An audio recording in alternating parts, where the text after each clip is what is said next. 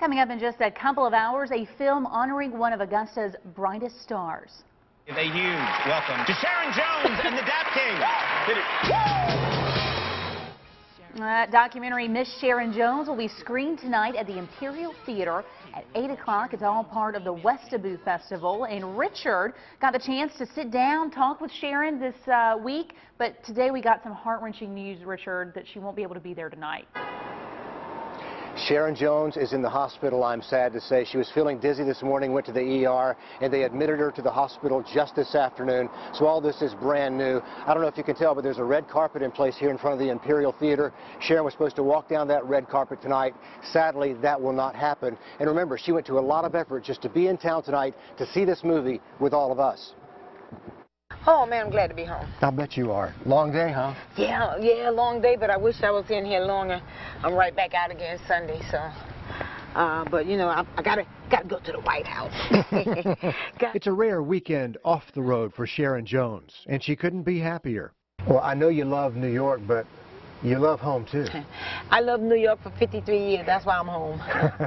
She'd be home more, but her medical team is in New York. She just had her latest round of chemo this week before hopping on a plane and ending up with us on this dock. Last few days was pretty hard because the pain is from here and all the way around. So when I go get the, the air in my lungs, I can't get that much air and it hurts, so then I panic.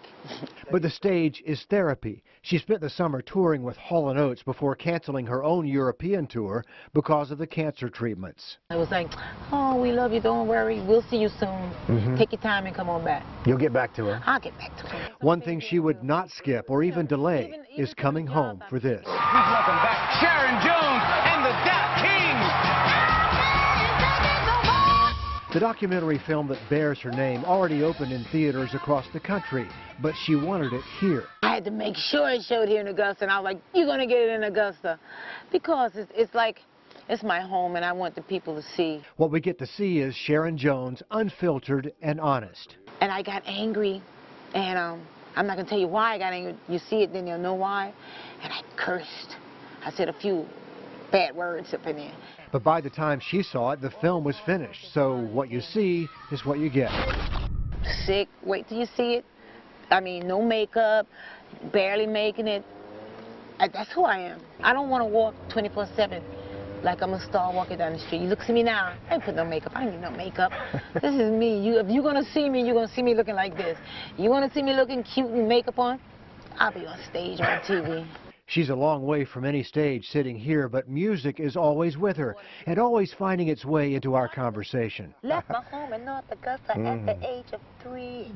my mother, two brothers, three sisters, and me. Ooh, ooh, I don't need your promises. I don't need your lies. How does Sharon Jones want to be remembered? With her music and maybe with a plaque next to a tree somewhere in her hometown. But don't ask her about any bucket list. How do you know what? I was scared to get a bucket list because you might finish and then, then I think I'm going to die. but for now, dying will have to wait. Here's to being home. Yeah. Here's to beating cancer. Right. Here's to Miss Sharon Jones. Well, thank you. Ah. Cheers. The show must go on. This movie is about great music, to be sure, but Sharon also wanted it to be an inspiration for all those men and women fighting cancer. They're also an inspiration to her, Laura. She wears the bracelets that her fans give her. Man, what an inspirational lady and such a fighter. But again, we're hearing she is in the hospital and she is still checked into the hospital tonight, correct? That's absolutely right. She'll probably spend the night in the hospital tonight. They were giving her fluids today. She just had chemotherapy on Wednesday, so and then traveled, uh, you know, on yeah. a jet here. Right. So it's really no surprise. And she's 60 years old, fighting cancer, fighting hard. Next week, Laura, she's supposed to be at the White House performing with the Dap Kings. This woman does not want to slow down. She doesn't know how to slow down. That's why I know this has got to be so tough for her. But we are wishing her the best, absolutely. Thank you for that, Richard.